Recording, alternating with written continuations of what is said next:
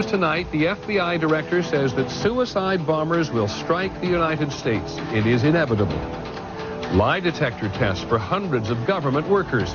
An ABC News exclusive in search of the person who mailed the anthrax. An epidemic of con artists, legacy hunters, and other criminals. We'll take a closer look at cheating older Americans. And what will become of the polar bear if they have to do with less ice? Is there trouble in the frozen kingdom? From ABC News World Headquarters in New York, this is World News Tonight with Peter Jennings. Good evening, everyone. We're going to begin tonight with the question of safety. The director of the FBI said today that suicide bombers are going to attack in the United States.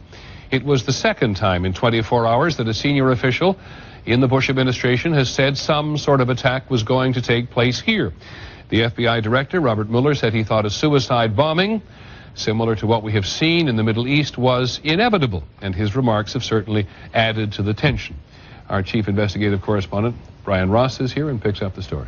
Well, Peter, as you know, Mideast groups meet regularly, but today, American intelligence and law enforcement officials tell ABC News that Al Qaeda leaders joined these Hamas and Hezbollah leaders in a secret session in Lebanon in late March to discuss tactics and an unprecedented level of joint activity.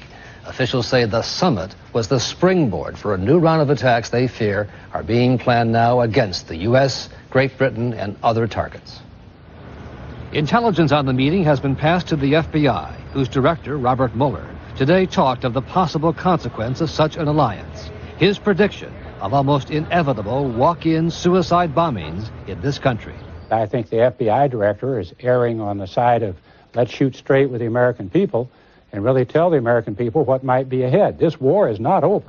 Officials say the growing concern is based both on intercepted messages and the fact that the secret summit in Lebanon marks the first time bin Laden's Al Qaeda group has put aside rivalries to work with others, such as Hezbollah and Hamas. Now that we think that they have been meeting and discussing, uh, I think that's a startling development and it makes it very, very uh, uh, dangerous. Officials believe Al Qaeda has already begun the next wave of attacks. An Al Qaeda official claimed responsibility over the weekend for the bombing of an historic synagogue in Tunisia last month, captured on a home video camera. The blast killed 19, including German tourists.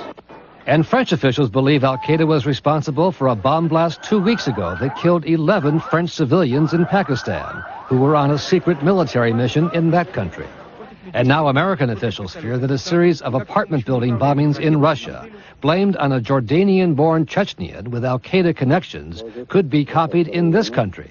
Apartments were rigged with explosives, disguised as deliveries of sugar and then detonated simultaneously with truck bombs outside the building.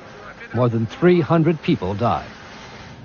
Despite the public warnings of the FBI director today and the vice president yesterday, the official threat status in the country remains as it has been since March when the administration announced its color code system.